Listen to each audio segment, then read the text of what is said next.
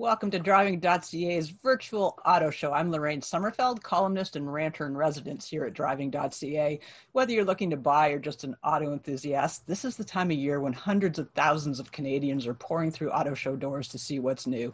For the next hour, we're going to take you there, highlighting the new, the improved, the much anticipated, and the glorious technology the industry is unveiling this year. Viewers at home, welcome. You can submit questions to us. Uh, there's a question button on the screen that you're using. We'll be doing that in the latter part of this show. I'm joined by Driving.ca's strong bench of experts today. Andrew McCredie, out from Vancouver. He's the host of the Plugged In podcast covering the ever expanding world of electric vehicles. Jill McIntosh is the mastermind behind Driving.ca's How It Works column and is with us today to share what she's looking forward to in the world of trucks. Stephanie Wallcraft is a motorsport expert as well as knowing all things family friendly. She'll be discussing what's new in the family hauler business, the vehicles built for many. And of course, David Booth, Driving.ca's lead writer who specializes in vehicles that are basically built just for him. Okay, one or two, the supercars. And with that, we're off when you walk through the gates of most auto shows, there's always a prime piece of candy sitting right there, the best bling. Our auto show is no different. David's going to start us off with the McLaren Artura. David, what makes this one so special? Well, I've long contended that my favorite supercar of all time is the Jaguar CX75. Don't bother looking it up. They actually never produced it. I was lucky enough to drive it, one of the few. And it, I loved it because it was a hyper hybrid. It was um, a small four cylinder but turbocharged motor with a huge battery and a huge uh, electric motor that went like a Ferrari but sipped fuels like a Toyota Prius. I loved it to death. And that was 10 years ago. It's taken the industry about 10 years to catch up. And so the number one car that you should go look at if you were going to go to an auto show this year would be the uh, McLaren Artura. It's basically a McLaren carbon fiber tub car. It's got a three liter V6 instead of uh, the uh, turbocharged V8, but it has a 7.4 kilowatt hour uh, battery and it has about 94 horsepower of an electric motor. So you add it all up and you have 671 horsepower. You get to 100 kilometers an hour in three seconds. That's just about as fast as the very fastest supercars. We're talking almost up with there with the LaFerrari. It'll get to two, uh, a 300, sorry, kilometers an hour in 21 and a half seconds. And at the top end, it does 328. In other words, there's nothing lesser about this car compared to, say, uh, something like a Ferrari Superfast, which has uh, a V12 and uh, 789 horsepower and is barely faster. In other words, you can be green and go really fast as well. Uh, and I'm told it'll do about uh, 30 kilometers uh, on electric range only. And that, I'm told, is because McLaren wanted it to be eligible to drive penalty free in downtown London, where they all have all manner of congestion uh, rules and charges. So it's very, very cool. Very. At auto shows, they don't put price tags on the cars, but generally speaking, this one, what's this McLaren going to come in at? It's it starts at an almost almost modest uh, two hundred eighty thousand bucks. Um, that said, I looked through the option list last night, and it was darn easy to get another hundred thousand on there. I mean, it's amazing um, what luxury cars will charge for something that's standard in a Kia Rio. It's really amazing. I, I I don't understand it, but the the rich have money to burn, and they're willing to pay you know a lot of extra dollars to have floor mats. It appears. Okay, we're going to go the other way right now. We're still going to stay in the electrics, but I want to bring Andrew into this conversation. And maybe, Andrew, you can. St- the headlines this year have been huge for electrics, even more than usual, even though the sales, sales still aren't reflected. What are we seeing? Are we going what's the most important developments you've seen on the horizon for 2021? Well, uh, nice to see you, Lorraine, and everybody else uh, here from Vancouver. So, yes, yeah, so I mean, we are seeing lots of headlines. Obviously, a lot of automakers are, are committing a lot of money, a lot of uh, uh investment in electric vehicles. Um, I think what we're seeing is um, more vehicles coming to market, but I think more importantly, it's the volume of vehicles that are coming to market. Um, one of the things that's I mean, one of the things that has kind of plagued EVs in the in the last few years is is uh, waiting lists. So somebody wants an EV, they go to the dealership and they're told six months a year to get one. Um, Canada's kind of kind of like vaccines in a way. Canada seems to be a little low on the on the uh, on the list to get these things. Um, the good news is it seems like 2021 we're kind of turning a corner. Um, Hyundai, I mean, as one example, has said that they've got thousands of uh, Kona EVs in dealerships right now. So what that means is it's not so much it, it's part of it is the waiting list. You want one, you go buy it. Um, but more importantly, I think what it is is people can actually test drive these vehicles now. You go into a dealership and you can actually test drive a Kona EV um, or anything. Uh, so that is a big turning point, I think, because a lot of people, I mean, people who order Teslas have never even, I mean, a lot of them haven't even sat in one before.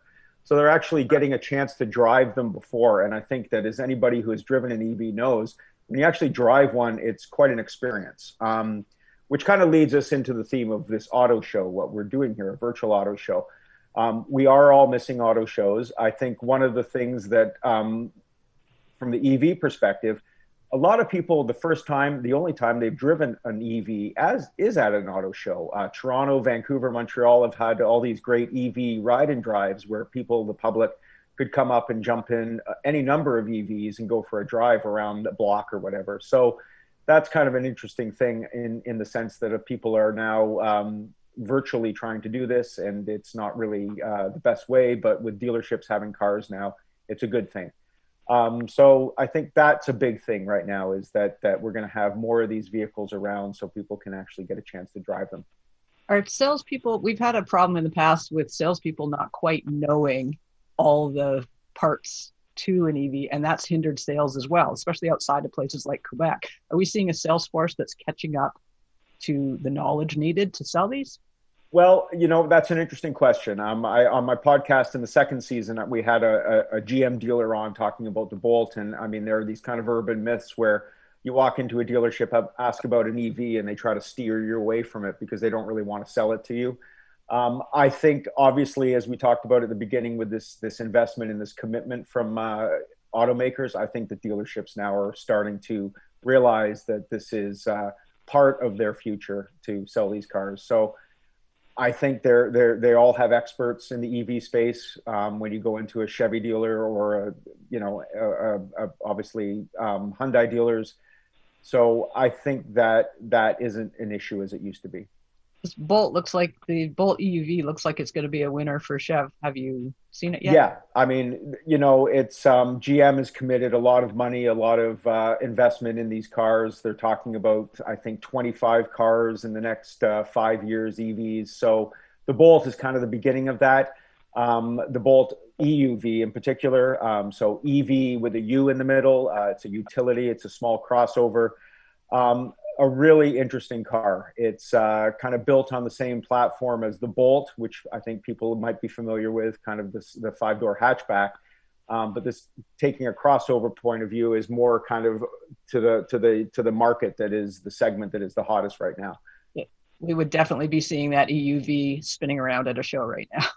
You would be. um, you know, I don't think it would probably attract the crowd as the McLaren of uh, David's, but um, I think for a certain amount of people, they'd be very interested in it. It's, uh, I, you know, there the in terms of the numbers, it's uh, it's it's got a, a, range of about 402 kilometers according to GM, 200 horsepower, um, 65 kilowatt hour battery. And what's interesting about it is it has something called a, um, a dual level power cord. So what that does is it allows you to plug in um, to your typical uh, outlet 120, but it also allows you to plug into a 240 volt, which is kind of like what people would have their washer or dryer plug into. What that means is you don't have to install one of these fancy chargers into your house. You can actually just have an outlet in your garage, a 240, use this cord, plug it in, and you can probably charge this thing in about five hours. So, uh, you, you, know, know it, that's it's another step in the evolution of uh, EVs. Speaking of steps in evolution, I'm going to move over to Jill now. We're going to talk about the F 150. Hopefully, you'll start us off with that, Jill, with the hybrid, moving from electric to a hybrid. What do you see happening with the F 150? Well, it's um, the F 150 hybrid is available, and I think hybrid powertrains are going to be important for, for automakers uh, that make trucks because they're the next logical step. Uh, in all the fuel saving technologies we've seen. And, and trucks are dealing with things like cylinder deactivation, uh, lightweighting, uh, turbocharging, anything to get these fuel numbers down. And hybrid, I mean, electrification is, is your next step. You've got Ram that has a mild hybrid system. That's that's the e-torque. But Ford has put in a full hybrid, and it's capable of running on its battery alone. It doesn't go that far on it, but it's enough that it's going to help with fuel economy. You take the the 3 liter V6 that is the the the heart of it, and with a with an F-150 that's just got the 3.5, it's rated at 12 liters per 100 kilometers. You put the hybrid system on it, and now it's 9.8 that's a big difference for regular drivers. It's an even bigger difference for fleets that are going through, you know, all kinds of scads of, of gasoline. Fuel is one of the uh, one of the number one uh, costs for fleets. And something I'm interested in in seeing, I um, I've driven the F-150. I haven't towed with it, and that uh, that 3.5, it's an EcoBoost. It's turbocharged. So when you are, are hauling a load with it, uh, it tends to get thirsty. So it'll be interesting to see how this electric powertrain manages that because now you've got fuel-free power that that's coming in, and you've got I mean the the, the hybrid powertrain it boosts it up to 570 foot-pounds of torque, but it can still tow between 11,000 and 12,700 pounds. We we have this a, a lot of people have this idea that that hybrids are this little thing that can't really do anything. And here we have a truck that can that can actually tow, so it's not a weeny little system. And with the hybrid, Ford has, Ford's got the onboard generator now in the new F-150, and in the hybrid you can get one that makes enough power that Ford says it'll run enough power tools to frame a house. And all of these things are key to this because hybrids can't be technology for the sake of technology. These trucks have to do what trucks are meant to do, or they're not going to make a dent in the market. When we're at the show, we're I, I love all the tech you're introducing, and I love hearing about the hybrids because you're right. There's got to be that bridge from the trucks that we all know and buy overwhelmingly to the new tech that's going to get that fuel economy down. At the show, though, we're going to see kids climbing all over the Ram TRX, the Raptors, the, the play the play trucks. What are we seeing this year? Oh, we're we're yeah. Right now, we'd be looking at the TRX and and the Raptor, but these are the Halo trucks.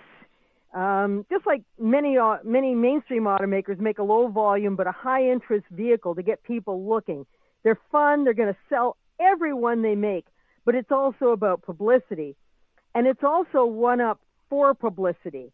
Now you got to remember, Ford's brought, just brought out the Raptor this year, and next year, there's going to be a higher performance Raptor R. Now, Ram's TRX makes 702 horsepower, and you better believe the Raptor R is not going to make 701. so you're you're going to have this uh, measurement thing going where everybody's going to one up everybody else, and it's going to be for the sake of publicity. They're going to sell the trucks. The trucks are going to be real. People are going to have fun with them but they're going to be just a very, very small slice of the truck market for these automakers. So these are like yachts, the one foot itis thing we hear about with the boaters. Yeah, that's that's pretty much it. it it's going to be you. We, we see the torque wars right now with um, with trucks, with the heavy duty trucks, where someone had 900 uh, foot pounds of torque, so the next next truck had 950, and I had my money on when it was going to break a thousand, and sure enough, it did. And then somebody had ten had a had uh, like a thousand and fifty, so somebody else had a thousand and fifty-five. It's just you got to talk about these numbers. It, like same as with towing capacity. Nobody, it, you know, basically it's it's well, our our truck can tow a house, and nobody really does that. But those are the numbers that that they want to um, they they want to put out there and even so, it's usually just for one model that does that, uh, and the model that everybody buys doesn't. But uh, our our truck will tow like you know 150,000 pounds, and and that's what people want to hear. Okay, we're going to move now from the trucks that, you know, do things that nobody really needs them to do sometimes. We're going to flip into the vehicles where people do need them to do what they're buying them for. And Stephanie, we're going to move into the minivans. That's what I want to talk about. These are vehicles that people actually are buying and for their utility. What's new? What's going on in minivan land? Right, exactly. Uh, I mean, we can talk about all these these souped up trucks and these supercars all we like, but the real purpose of an auto show is for people to decide what they're going to put in their own driveways. What we've seen in sales over the last year or so is that SUVs and light trucks have actually far surpassed cars. They're now over 80% of sales in this country. But here at driving.ca, we've been vansplaining to people for years about that minivans really are the most practical and useful family vehicle that you can buy. And now we're seeing that that segment has gone through a lot of change in the past few months. So let's start with the, the 2021 Toyota Sienna. This is a very, very interesting vehicle for the minivan segment for a couple of reasons. One is that it's not only available as a hybrid, but it's standard with a hybrid powertrain, which not only brings that fuel efficiency into the mix that has not been present in the minivan segment up until now, it also brings a lot of that same functionality that Joe was just talking about on the Ford F-150 hybrid into the minivan segment with things like a, a, a PowerPoint in the rear. You know, it's a pretty nice idea to bring a small microwave with you when you're going on a camping trip and be able to microwave a pizza pocket. Maybe not a very authentic experience, but it sure is appealing. Um, there's also a PowerPoint on some trims in the center console in the back to go with the HDMI connector so that you can connect a PlayStation or some other video game system to the rear rear facing infotainment system in the back, you'll have your teenagers busy for for years. You'll never hear from them again. And if you ask me, that's a pretty appealing feature in a family vehicle. Dodge Chrysler uh, invented this sector way back in '84. My first new vehicle. I thought it was cool. It was not cool, but I thought it was cool. They're going through some changes. They've brought the Pacifica out a few years ago, which really changed up their game broadly, but they they're also tweaking the market here in Canada. Name changes mostly. Can you sort out for viewers what's happening with Chrysler and Dodge? Absolutely. Well, let's start actually with the fact that all-wheel drive is now got some. There's some competition with all-wheel drive in this segment between the Toyota Sienna, which has for many years been the only minivan available in Canada with all-wheel drive, and the Pacifica that you mentioned is now also for the 2021 model year undergoing some model changes and also is available with all-wheel drive to go with those stow and go seats that have always been a, the most appealing feature of the Chrysler products. Um, the the Pacifica is the upmarket version of Chrysler's minivans, and there's another level again being added for 2021 with the Pinnacle grade, which has quilted leather seats, um, these lumbar cushions in the same finish, upscale finishes on the inside. As, as we mentioned, that all-wheel drive, the seats are, are quite plush in the second row. So the Pinnacle grade does not have those stow and go seats, which is something to know if you're considering between that and the Sienna in terms of what precisely you're looking for in features. But that's the upmarket version of the of the Chrysler minivan.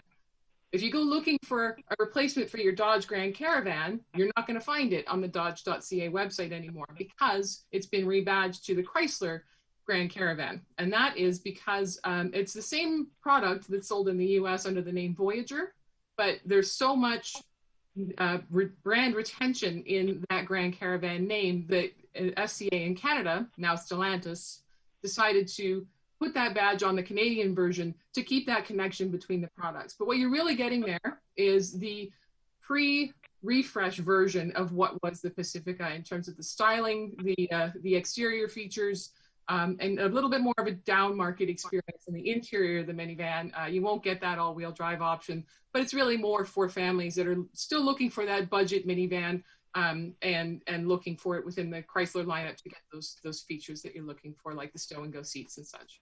So, so many name changes. I was hoping we could clear that up. I'm a little bit more confused now. I'd forgotten about Stellantis they're making great product and stow and go seats all the way.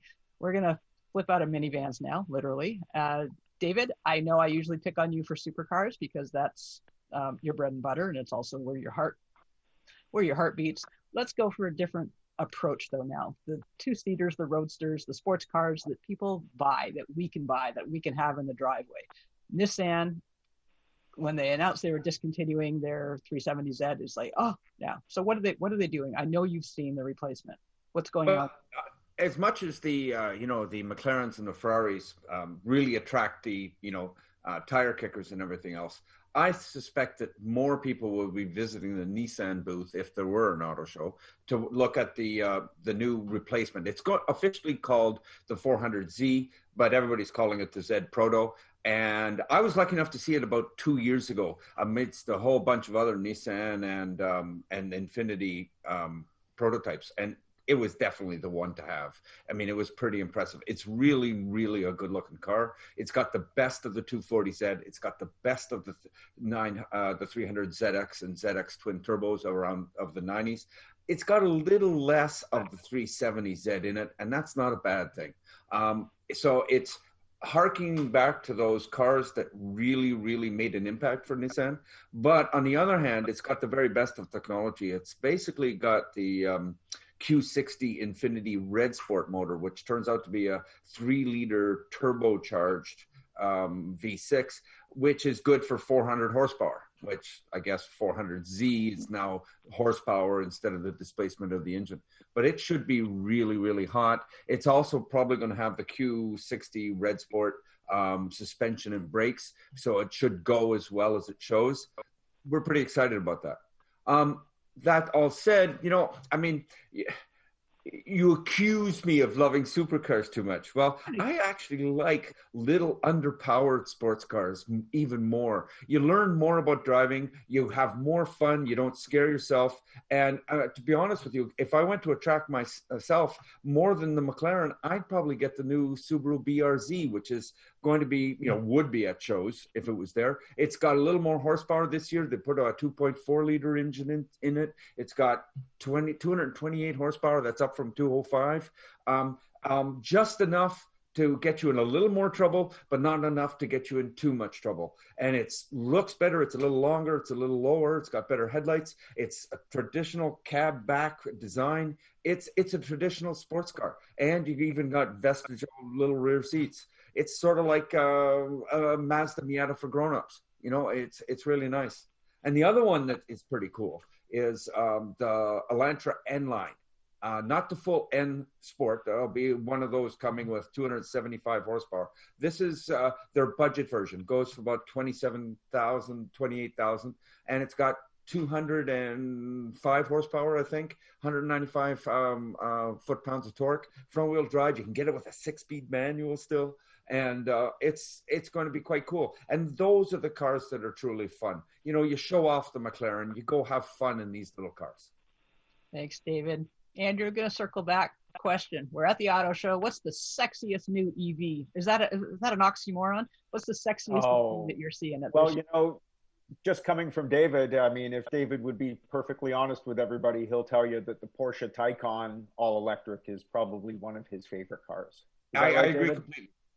Okay, so um, Audi, who has uh, jumped into the e, into the EV space with their e-tron models, um, has kind of come up with their own answer to the Porsche Taycan, and that is the GT. So uh, Audi e-tron GT Quattro, and then their performance model, uh, which is the RS e-tron GT. So these are four-door coupes, which uh, talk about oxymorons. There you are.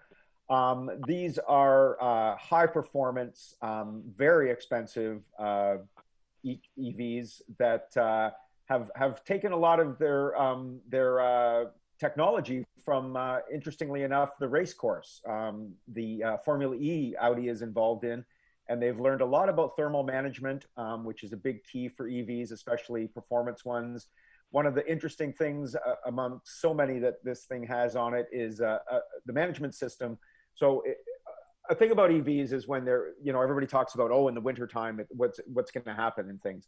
So they've kind of come up with a, a, solution in a sense to, to warm the cabin from the heat of the battery. So they use the, the, they have this interesting thing with all their, their coils and, uh, and uh, um, systems where they, they transfer heat from the battery pack into the cabin. So um, that's one of the many interesting things about this thing. It has something called boost mode. That's not beast mode, boost mode. So for two and a half seconds, you get uh, over 500 horsepower in the GT Quattro and 646 horsepower in the RS model for two and a half seconds. So essentially, it's like a launch control. Um, 85 kilowatt battery, uh, fast charging, same as the Taycan. So you're going from about uh, 5% of battery to about 80% in 23 minutes, which is pretty impressive. Um, what is also impressive, as I said, is the price. So uh, the base model is about 153 US, no prices in Canada yet, and over 200 for the RS. So uh, it's also got a bit of unobtainium in it. unobtainium, exactly. okay, back to obtainium. I'm going to go back to Jill. We've been talking about the big trucks and the tricked out trucks what's really coming through the market now that you see is going to fill a niche? We're looking at the mid-size pickup trucks, and I know Nissan has a lot riding on the Frontier. What are we going to see with that new Frontier? I I think the Frontier is going to do very well for itself.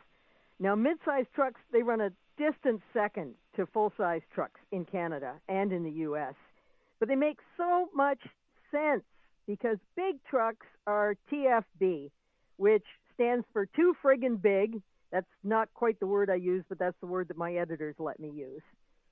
And you you look at these mid-sized trucks, which are almost the size of what full size used to be. It's easier to get in and out of them. You can park them. You can spin them around in traffic. And I always liked the Frontier. I, I liked it. It was comfortable. It was a stout performer. It, the biggest problem was it was thirsty. If you got that V6, it, it, it went through a lot of fuel. Now this new one, it it really is styled nicely. I love the styling of it. The interior is all new. It looks great. And it has a new 3.8 liter V6 that should solve that efficiency issue. Um, in the in the midsize market overall, Tacoma rules there. there there's no question. It, it actually outsells the Tundra, and I don't think that's going to change. But I think this frontier is going to make waves in this segment. We, we've got a segment where just about everybody is in it. Um, you've got the Colorado Canyon uh, from GM, you've got the Ford Ranger, you've got Honda Ridgeline, the Jeep Gladiator, and I think Nissan is is is it's going to have a contender here.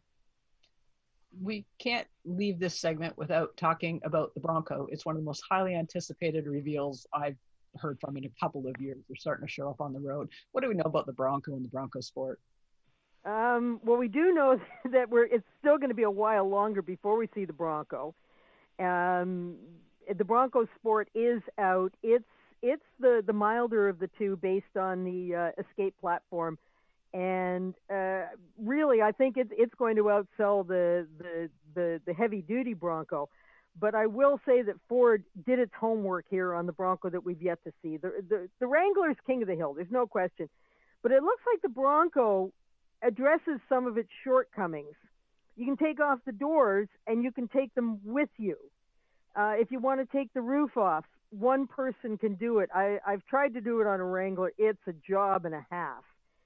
And I really think the Jeep's going to have to look over its shoulder here because this is a niche segment – but really more people buy them that don't go off road that actually do anything with them. It, it's I, I don't I don't go off road, but I want to make it look like I can. I want to if I ever did, if I can do it. And I think the Bronco is is is going to be. I mean, it's going to be a while before Bronco supply ever meets Bronco demand well put. I know the uh, the past year in the industry has pushed off a lot of product being available to the public. It's pushed off a lot of parts being available.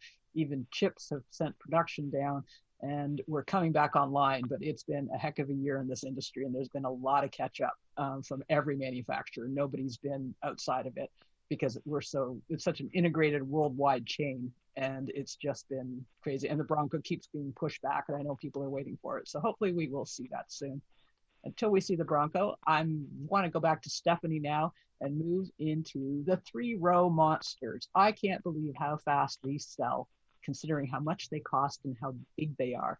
But Stephanie, what what's going on here? What what's the big news here in the three rows? Well, if somebody were walking into an auto show, if there were auto shows this year looking for a three row SUV, the vast majority of them would be headed for the Jeep booth to have a look at the Jeep Grand Cherokee L. Um, the Jeep Grand Cherokee has been a darling for the Jeep brand for probably longer than it really should have been. It's up until 2021 model year. It's been the, the same pretty much for, you know, with, with light refreshes for a decade. and it still sells really well. Um, its its buyers sort of look at it almost as as if it were a luxury vehicle and and treat it as such when they're when they're pricing it out when they're when they're uh, deciding what features to put on it and that's because people flock to the Jeep brand for for that capability and now they're going to get it in a three row SUV for the first time this thing could probably put the Palisade, the Hyundai Palisade, and the, the Kia Telluride, which are the new players that are doing extremely well in this segment already, on notice because it's going to end up a little bit pricier, um, probably actually uh, more than a little bit pricier when you put it all together. But it's also going to have three different all-wheel drive systems available on it. The, the most expensive one having electronic limited slip differentials on both axles. So we're talking about serious capability that is not necessarily available elsewhere in the segment. And people are going to notice and they're going to pay attention and they're probably going to pay for it because we're seeing that Canadians are willing to pay for the vehicles that they want, with with transaction prices going up over forty thousand on average for the first time in December last year. What are we seeing in the traditional ones, the Navigator, Tahoe, Suburbans, the Yukons? Are are these still as forward as they were? Are they still as desired, or are the new kids pushing them out? Well, I think I think when you're talking about the really large SUVs, what was that acronym that Jill used? TFB. Um, they are the really large SUVs will always have a place for people who need to who want to move six seven people around comfortably, adults, and tow a boat or a trailer, and you know they they truly need all that capability. Um, certainly, the the uh, GMC Yukon, the Chevrolet Tahoe, uh, the Cadillac Escalade all came out um, redesigned in the last few months um, and all have their place and all are very impressive in terms of their capability. The suspensions, the new suspensions on those things are magic. Um, and so, but they are also very expensive. And so I think there's a place for both. It's just a matter of meeting the budget needs of the different families who, who really can take a take a step back to assess, you know, how am I going to use my vehicle? Do I really need you know an enormous SUV that's that's capable of towing and, and has room for six adults, or is that third row an, an occasional need for me? I can I can get away with something smaller that can tow five thousand pounds. It's you know every family's got different needs and different budgets, and and I think that that that's exactly why these segments exist the way that they do to meet those different needs. I've heard you mention before, and it's a really great point that people buy the car they think they might need one day or one day of a year when everyone's going to the cottage or for a trip and they tend to overbuy. Like they'll buy something huge imagining a day instead of their day to day like driving around. And do you think part of that plays into this and why they maybe stay away from the minivans which are probably better utility even though they don't have that word in their title? Yeah i think it very well could be although i think also that the minivans get short shrift in terms of how people consider their capability. A lot of it has to do with um, the all-wheel drive capability, which we just discussed, is opening up in terms of competition in the minivan segment. But there's also um, ground clearance is a big factor for Canadians when they're thinking about getting over those snowdrifts that the plow leaves at the end of their driveway. Right? Is a minivan going to make it? But truthfully, other than you know, if you've got a really rough cottage driveway and you're worried you're going to bottom out on a rock or something, a car or a minivan probably has enough ground clearance for most people who live in the city in Canada. And so I'm not, you know, it's as you said, it's people really they're buying for the one day. They're but one day I might need to go to a friend's cottage and I might bottom out on a rock, or one day I might need to take Bobby's entire soccer team to practice, and I might really need that third row. Um, and so it's it's really up to the individual family to decide whether that one day, you know, if there's one or two days a year when you really do fully need all of that capability, is it worth spending that much extra money? What we're seeing is people are saying yes, because as we just mentioned, they're spending more on their cars than they ever were. Is it necessary? It's a different question. I might bring David into this part. Mitsubishi just unveiled their new Outlander, the plug-in hybrid Outlander, which has done really, really well for them the past few years. Far and away their best best product I think that they've got out there. And the new one looks pretty fierce. They did a lot of design changes on it. And I know David, you were you've written about this, so maybe the two of you could uh, tell us a little bit more about the Outlander. Well, the, uh, the the what's interesting about the Outlander is the Outlander itself, the base uh, gasoline model, is all new and it's sexy It's the interior, which has been Mitsubishi's biggest problem over the last decade by far, is really, really leaped into the uh, into the mainstream. Quite well done. Congratulations, Mitsubishi.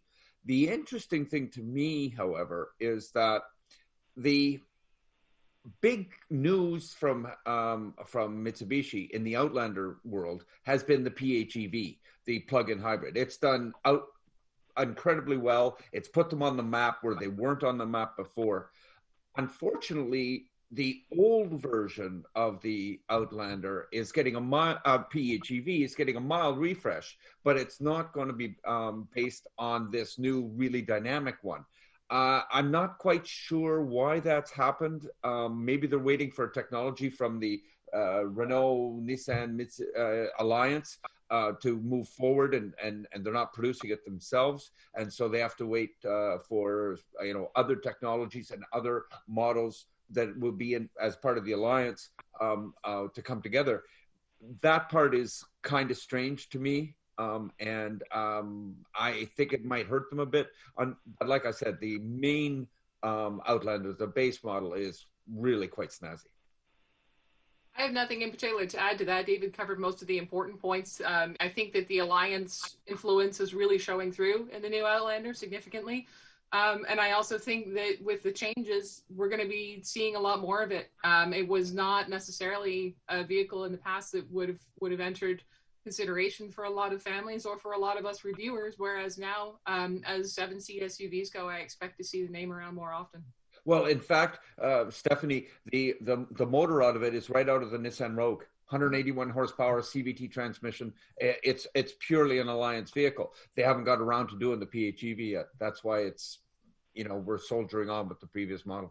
Well, and the rest of the Alliance doesn't have PHEVs, so it would be Mitsubishi bringing that in to to the Alliance uh, um, side of things. So uh, yeah, your point exactly. It's you know things moving both ways, not at the same pace necessarily. Exactly. Okay, David. Can I, can I add? Can I add something there just about the electrification of the, the, the new PHEV? So as David says, it is a refresh. Um, however, they have kind of upgraded the powertrain in the PHEV a little. I mean, it's not a lot, but um, it did have 35 kilometers of full electric range. It's now 39 kilometers. So, hey, four oh. kilometers. That's to the store and back. Yeah. Okay. Anyway, that's that's my my uh, two cents. Most importantly, though, regardless of the changes, it still qualifies for the federal and provincial incentives with the way it's being priced with the updates. I think that's the thing that's the biggest factor in in choosing a PHEV or a battery electric for Canadians at this point. Great point. Very good point. Great point. Yeah. Okay, David, I'm gonna. I have a question from a viewer. Actually, I'm gonna put it in now because we're at a good spot for it. Um, if there were auto shows this year, it would have been great to see some of the newest EV entries like Lordstown, Neo, or Rivian David, which of these electric trucks do you expect to actually hit the market in 2021? Ooh, uh, uh, as long as we count late 2021, um, I think what you're going to see is the GMC Hummer EV, which I think is quite exciting. Um, uh, with its Ultium batteries, and it's got well, you know, they said something about fifteen thousand pound feet of torque. A little bit of uh, marketing there, shall we say it? Um, but that one's going to hit. I, am not sure about the Lordstown. Um, the Rivian, I we might see uh, in time, and and obviously that's exciting. I, will be honest with you. The, the the the incredible thing about EV pickups right now is how little news you hear about the Cybertruck. Uh, I don't know when it's uh, going to hit. Um, and unlike previous Teslas, where you know there was a countdown of uh, like for the Model Three, every time it hit a hundred, an extra hundred or the two hundred thousand deposit marks, there was a big news. The Model Three, the Model Y, they were constantly in the um, in the news. Uh, since that initial splash where everybody went, "Oh my God, it's the future," uh, we have not heard very much about the Cybertruck at all. Um, I don't know if that speaks to a lack of popularity um, um, uh, in the uh, larger scheme, or if the Tesla people haven't really bought into it a lot. All I know is it is the most silent introduction by Tesla, for, and that's a company that's never silent about any of its introductions um, and, that I can remember. So uh, I don't know when that's coming. Um, I don't know what it'll look like. In fact, in the end, I'm I'm not sure they know right now. Okay. Andrew, I have a question for you. Wayne Yes. is wondering who, besides Tesla, is building the best EV in 2021. Wow. Um, I mean, best in terms of affordable. I think Hyundai with the new Ioniq Five. It's their third EV in their their their uh, their their quiver, as it were. Um, I think Hyundai is making great cars. Kia Soul EV, I think, is a really great vehicle. Um, you know, there's the thing about EVs is there's not really. I mean, this is a bit biased, but they're all very solid. They're expensive. I mean, let's face it. That's the problem with EVs is that for a comparable gasoline engine, you're sometimes double the price. So that is the issue. But I think Hyundai is making great ones. Um, I think Nissan, the Leaf, to me, has always been one of the best EVs. The Nissan Ariya that comes out soon, hopefully this year, maybe next, um, I think is probably going to be a real, uh, real popular crossover when it comes out. Um, it's taken a long time for Nissan to follow up with the Leaf. Um, they've had issues, I think, at the corporate level. Obviously, they're much publicized CEO issues, so I think that kind of got stalled. But I think um, Nissan, Hyundai, Kia, um, and the Bolt. I think the Bolt EV EUV is going to be a big one too. So um, it's not really an answer in terms of who's doing the best. I think they're all very good. I, if I can jump in, um, as um, uh, Andrew mentioned earlier, the the the new Taycan is by far my favorite EV. I know it's a rich person's car and everything else like that, but the reason why I like it so much is not only is it a good EV, but it's the best handling four door um, sedan you can buy for any money, regardless of propulsion system. There is simply no better handling four door car, gas, uh, plug in um, EV in the world right now. And, you know, um, we are always judging EVs just amongst their specific EV competitors. And we occasionally mention them in their acceleration versus gas powered cars, but that's it. This is a car that actually handles, again, way, way better than anything else with four doors. Uh, like, just blows the doors off a BMW M5, just puts it on the trailer. Fantastic car. Puts it on the trailer. Okay. Jill, I want to come back to you for a second. Nick's wondering why compact trucks are not part of the market anymore. He mentions that the midsides ones really aren't, which I totally agree with. Remember the original Rangers? They look like they could go in the kids' toy box now. I thought they were awesome. But he's asking why there's no cheap entry level small pickups anymore in the market has just fallen out. part of the, part of the reason is there there's just there isn't a market for it. Um, there is in in uh, in other other parts of the world, but North America um, we tend to buy by pound. If I'm going to spend this much money, I want this much truck, and there comes a point where you can only make something so inexpensive um, no matter what it is, whether whether it's a, an F three fifty or whether it's a Ranger. But uh, don't expect to see those come back if ever. If we do, it's going to be something like the Hyundai Santa Cruz, which is totally a lifestyle truck. It, it it's it's it's not a. I mean, I I think it's a truck, but it's not going to be perceived that way. It's a car with a bed, basically, isn't isn't it? Just with an external bed as opposed to a trunk, which there's a place for that if you need to get around stinky hockey bags. And, and Oh, I'm this fills that that need, right? Well, even I had a Ranchero back in the day, Yeah. which which was a which was a Ford Torino with a bed on the back, and of course General Motors made the uh, made the El Camino and the and the Diablo, and uh, Subaru had the Brat, uh, Dodge had the Rampage. But these, but as much as we look back on them and wow, they were great, even in their day they didn't sell that much um, because people just don't perceive them to be trucks. And a, and a little truck yeah they'll they'll do it but people don't people don't see it that way. And what's really funny i have i still own the the the only brand new vehicle i ever bought which is a 1995 dodge ram And when I bought it, it was the largest half ton pickup you could buy that year. And now it looks like a midsize against the big trucks. Well, one day I did a comparison where I, I, I got as close to that configuration on a new truck as I could. And my truck actually had more towing capacity and more payload capacity because it, it's it, all of its uh, capacity was not taken up with bulk, with with needless bulk. But that isn't the way we look at trucks now. I got a big trailer. I need the big truck to pull it. So it, it's it's all about perception. Well, and I don't know when somebody's going to blink and make a smaller one. And, and let's let's understand this. Um, the the luxury segment. If you define the luxury segment as uh, vehicles that cost over sixty thousand uh, dollars, the luxury segment is dominated by pickup trucks. I mean, it's it's absolutely incredible. Uh, General Motors sells way way more um, over uh, sixty thousand dollar pickup trucks than than say BMW does over sixty thousand dollar cars. Um, uh, you know, uh, the Denali is uh, for GMC is I think 60% of the vehicles they sell are Denalis. I just, uh, I just, I've test, I just tested a, it's an SUV, mind you, but I just tested a, uh, a Yukon Denali and it was $95,000 and you can get pickup trucks easily to that amount. So understand that um, uh, the, the market, it's not just sheer bulk, it's sheer price and sheer equipment and interior I, quality yeah. too. The interior on some of these, like the uh, the Laramie Longhorn Ram 1500, is gorgeous on the inside, and I think it's just about six figures.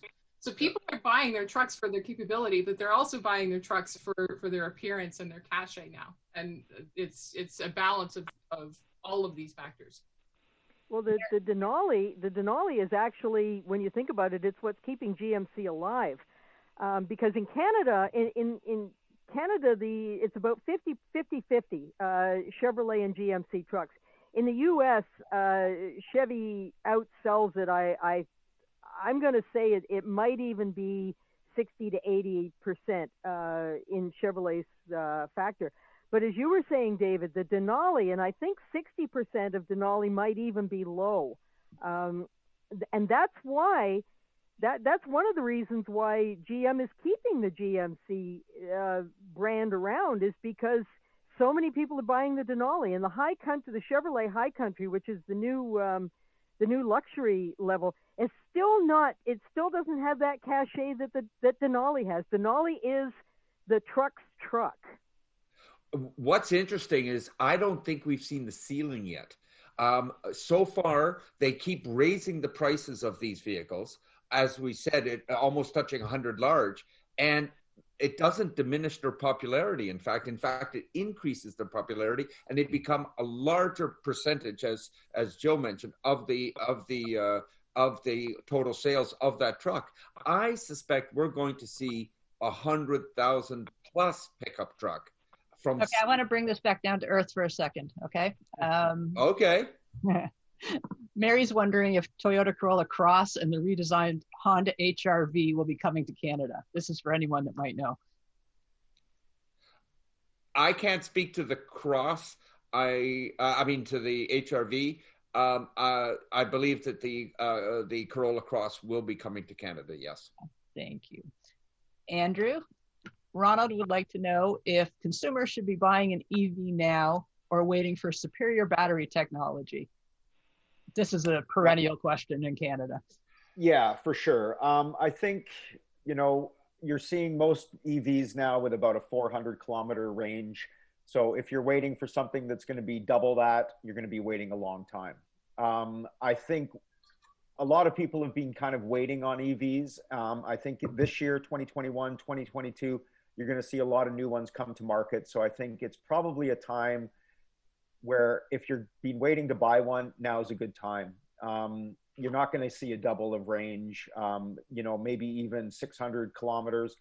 That technology will come, um, but it's going to be five years away probably till you see um, batteries that really double that. So it depends what you need. I mean, it gets back to what um, Stephanie was talking about in terms of these vehicles. Is if it's a once one time in a year you're going to go on a road trip, well, then the EV is going to be a challenge because you're going to have to stop and charge and wait for it. But if you're just using this day to day for a commuter thing, um, the EVs of today are bang on. I would I would add one little point. The the delineation is not so much the size and the range these days.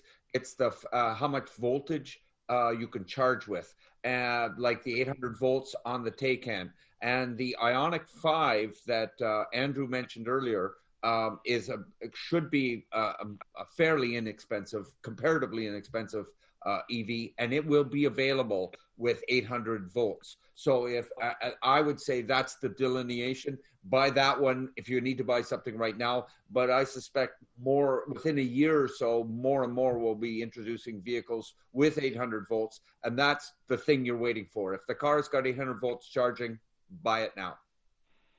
Okay.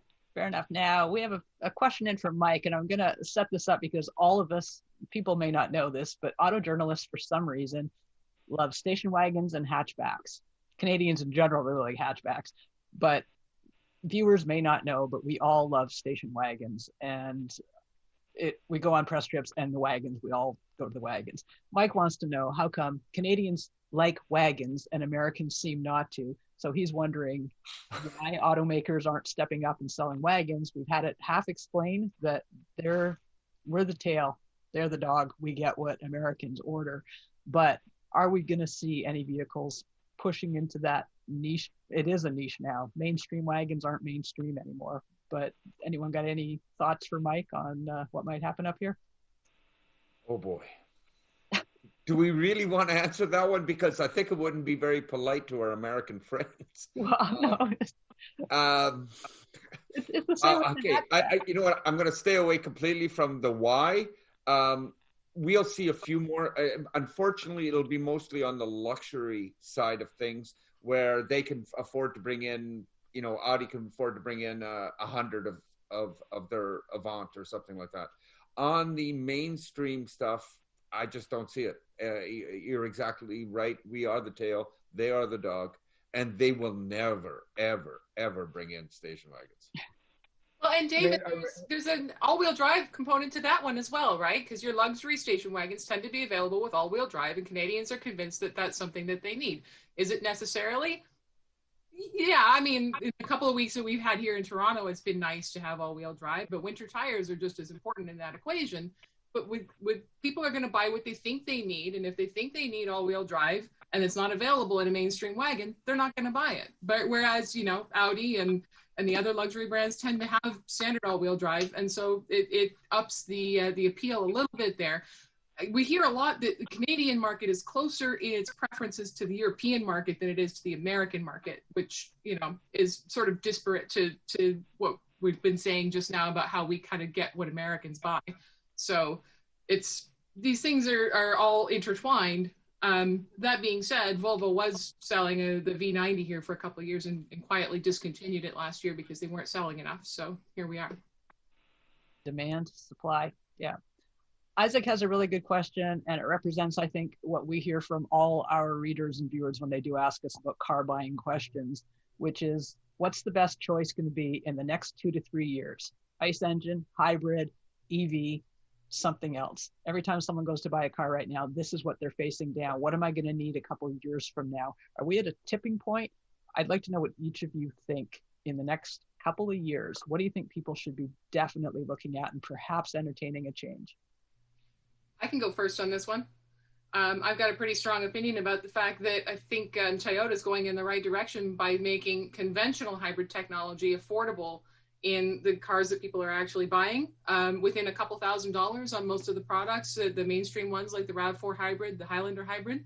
Um, and there's just no reason not to choose it anymore. If, if you can bear that small price difference, it, they're, they're better driving vehicles, better acceleration, better fuel economy.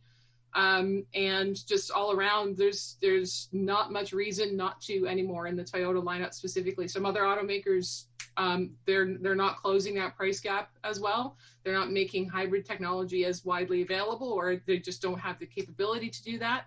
Um, but I think in the next two or three years that we're we're going to have to see more of that, not only because of regulations, but also just because the the demand is, is going to drive that supply.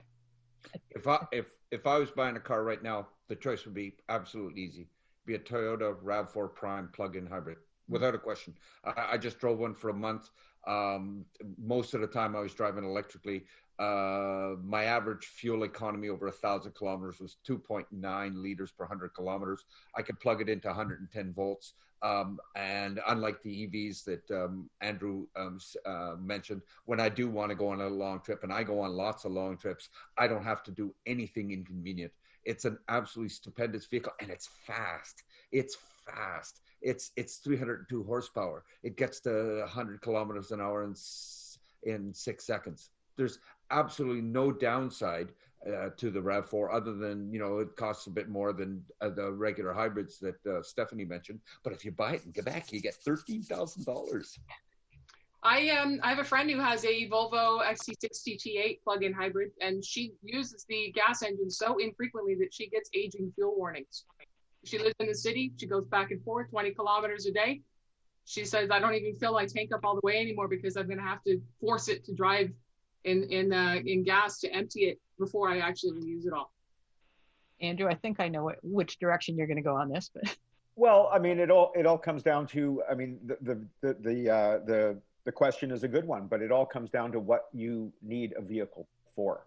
If you need a vehicle to go to work, if you're putting 100 kilometers, uh, uh 200 kilometers on your vehicle in a day, you're not going to go on big road trips, then an EV is going to suit you just fine. Um, the PHEVs, the plugins are a great I mean, they're not a half step and they're not a stepping stone, I don't think. I think that they are a real world vehicle. And I think for a lot of people who don't understand that technology, they should go to a dealership, drive a plug in, and really get a sense of uh, the kind of utility of driving on electric day to day and then having the ability to go on a big trip and just fill it up with gas. So I think both Stephanie and David are right. I think plugins are, are a real real world solution to uh, kind of what ails us right now.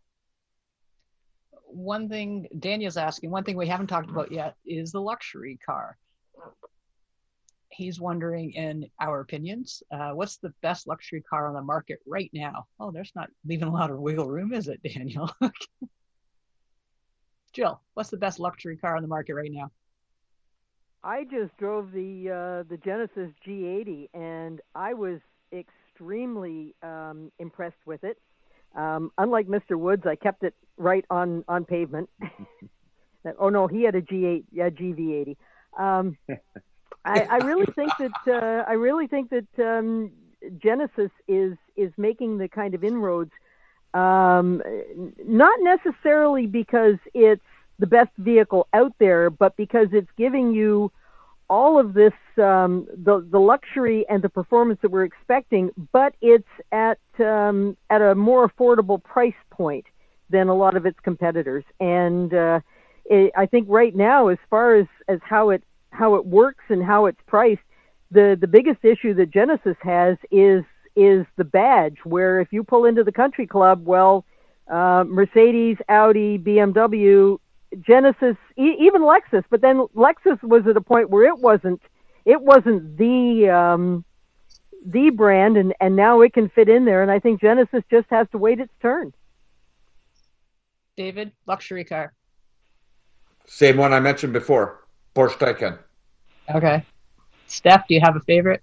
That was going to be my pick as well. I mean, if you're going to spend the money, you might as well get the the best of what's on the market here. Period, EV or otherwise, and that that Taycan like it, it drives fantastically, and um, as we've mentioned, it's got that su- super fast charging capability. In theory, you can you can charge it in about ten minutes.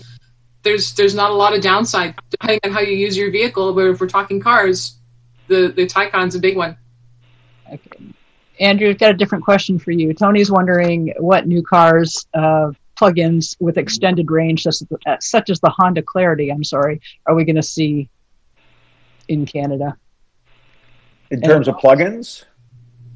Yeah. Or, or um, I mean, the Clarity is a plugin, so yeah. extended. Range. I think you're gonna. Uh, yeah, I mean, I think you're gonna see all the manufacturers kind of do that step. I've got talking about what's in my driveway right now. I've got a BMW 330e plug-in, so um, I think that. Uh, you're just like with EVs, you're going to see all the manufacturers have plugins. So again, it's a matter of just determining your price point and then what you're looking at. Um, David's point about the RAV4, I think, is interesting simply because it's got a big range in terms of electric. That's the problem with a lot of these plugins is you've got 20 kilometers of range. So it's it's kind of like a you know, it's it it doesn't really do anything in terms of fuel economy for you. It's more just a kind of selling point almost. But I think when you're seeing more and more, once you get a plug-in with 100 kilometers of range or 150 kilometers of range, then that's kind of an interesting thing. And I think that's not far away. I think probably by next model year, 2022, maybe 2023,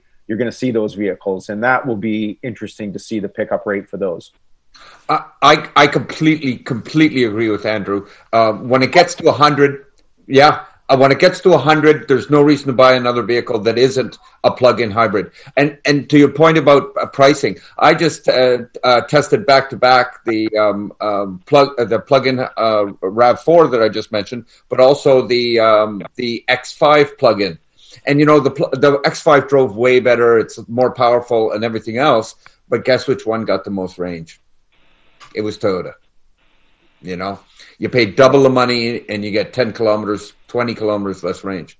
Okay, one last question here, and it's on the heels of what we're discussing already. Giles is wondering your thoughts on the Mazda MX30 and the range extender engine. For now, only available in the US. Here in Canada, it's really needed in winter, especially with the lower range on EVs. BMW tried it on the i3. So far, only Mazda and BMW have offered this feature. So, range extender engine what applications is that going to have here in Canada? I, I, mean, I can weigh in. I think it's a really interesting technology, but I'm not sure that it's going to be um, embraced by many automakers. Um, for the the interesting thing is uh, the the MX30 with the range extender is going to come to Canada. Um, as far as I know, it's going to have a Wankel engine as the range extender, and um, I'm going to disagree with uh, Andrew on this because the difference between a, a really good plug-in hybrid and a electric vehicle with a range extender in actual day-to-day terms isn't that different. Um, uh, the the good thing about the um, the um, the uh, Mazda is it should have, I think, 200 kilometers before the gas would kick in, which would make it extremely useful. And you could still drive it, uh, you know, to Ottawa without, you know, having to charge it up. You could just gas it up. So I actually like that technology. I think it's, I don't know if anybody else will adapt, ad- adopt it, but it would work for me for sure. Okay, before we start wrapping up, we're at the auto show. We're walking around looking at all the cool, cool stuff. So I'd like to know what each of you would want to be taken home from the show. Let's start with Jill. I we're back to the Nissan Frontier. I'm really looking forward to this. The styling is great. The size is right. I want to see if it lives up to the promise, and if it does, it's going to be a contender. Andrew. Um, the the vehicle I mentioned earlier, the Nissan Ariya, I can't wait to drive it. Um, I think that it is going to be one of the uh, a big hit in um, kind of the crossover for people buying EVs. I think a lot of people with a gas crossover will see the Nissan Ariya and really want to drive it. David. Uh, I'm going to go against type. I would probably uh, mention or want to drive home the cheapest car I've mentioned uh, the um, the Hyundai uh, Elantra N line. I have a real soft spot for little 1.6 liter turbo front wheel drivers. Uh, I re- I really do. Um, you know, if I had all the money in the world, I'd buy a Taycan. What can I say? Get this, people. I own that Elantra N line that David's talking about. It's probably the first time in our lives that we've crossed and met up. Stephanie, what do you want to drive home from the auto show? Well, I feel like I'm being very different from everyone else here. I guess I've spent too much time in three row SUVs lately because I'm the one taking home a supercar. I can't wait to drive that and check that out. I'm a racer girl at heart, um, after all, and so uh, yeah, I, am really intrigued by the plug-in hybrid powertrain, and I uh, can't wait to see what that car can do. Stephanie, I should have one by March, late March. I'll bring it to your house. Okay? I'll be waiting. Time drives fast when you're having fun. That wraps up our 2021 virtual auto show. I want to thank our, our panelists, our uh-huh. terrific production team at BBC, and of course, you, the viewers. Be sure to join us for our upcoming events, Auto Manufacturing in Canada on March 3rd, and on March 10th, when will autonomous cars be ready for Canada? Register for both events at events. events.driving.ca. Thank you, everybody. This has been a blast.